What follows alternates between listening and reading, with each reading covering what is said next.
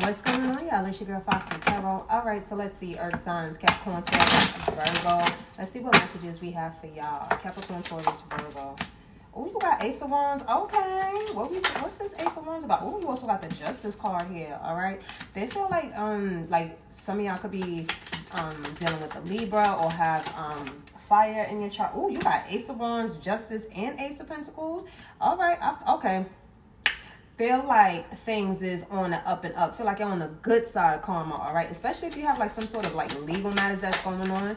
I feel like there's going to be um definitely something. Ooh, wow, you got big dogs here. You also have the um the death card. There's definitely going to be like a change, especially if you're like you're venturing off in like a new business endeavor or something like that, or if you have like some sort of like legal. Ooh, you also got the star card here. Okay, that's Aquarius energy. If you got social media, if you were, or if you thinking about doing, you better put your ass out there. Okay, so you get them coins.